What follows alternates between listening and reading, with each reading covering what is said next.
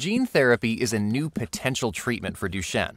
If gene therapy works, it should be an option for most people with Duchenne, regardless of their mutation type. People with Duchenne do not have a working copy of the Duchenne gene. The hope is to deliver a new working gene into muscle cells using a virus. The virus's goal is to carry the new Duchenne gene to cells throughout the body. The Duchenne gene is big. Researchers made a shorter version to fit into the virus.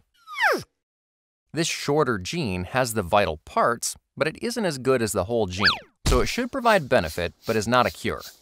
Researchers expect muscle, heart, and breathing benefits for most people with Duchenne. It should work better for people with more working muscle cells because gene therapy will have more difficulty getting into damaged cells.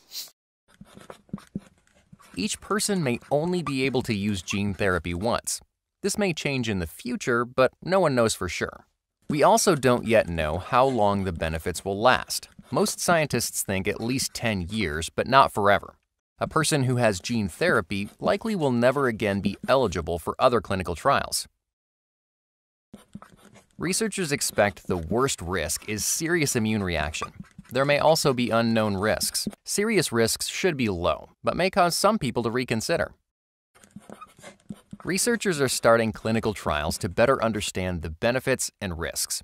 The long term goal is an approved therapy so people can make their own choices about using gene therapy.